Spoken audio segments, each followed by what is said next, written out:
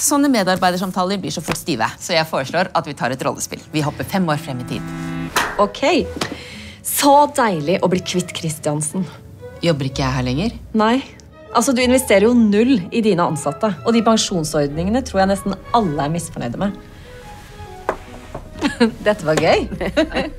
Jeg, jeg, skal se på pensjonsavtalene våre. Og forsikring. Og kanskje et lederkurs. Ja! Ja. Eller ja, kanskje.